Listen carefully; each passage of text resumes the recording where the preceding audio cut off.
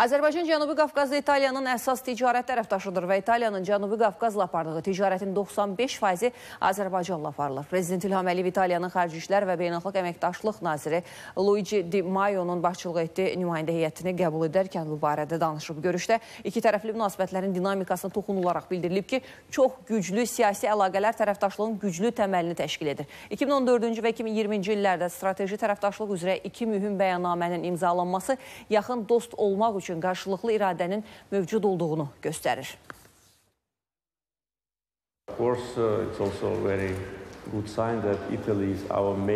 İtaliyanın bizim əsas ticarət tərəfdaşımız olması çox yaxşı əlamətdir. Enerji əməkdaşlığında yeni imkanlar var. Uzun illər ərzində Azərbaycan neft təchiz edən etibarlı mənbə olub və İtaliyaya neft təchizatının bir nömrəli mənbəyidir. İndi isə Cənub qaz dəhlizi layihəsinin tamamlanması ilə önəmli qaz təchizatçısına çevrildik və biz qaz təchizatında üçüncü yerdəyik. İrəliləmək üçün potensial olsa, əlbəttə ki, biz bunu edəcəyik. Həmçinin ötən il bizim 7 milyard kubmetr qazı təchiz etməyimizlə bağlı göstərici də məni çox məmnun etdi və bu il bundan da çox olacaq. Həmçinin İtalyan şirkətlərinin azad edilmiş ərazilərin bərpa quruculuq işlərində fəal iştirakı bizi sevindirir. Hazırda 3 şəhərdə işğal və zəfər muzeyləri İtaliya şirkətləri tərəfindən inşa olunur. Şuşada qədim məscidin bərpası və yeni məscidin inşası da İtaliya şirkətləri tərəfindən həyata keçirilir. Now implemented by Italian companies in Shusha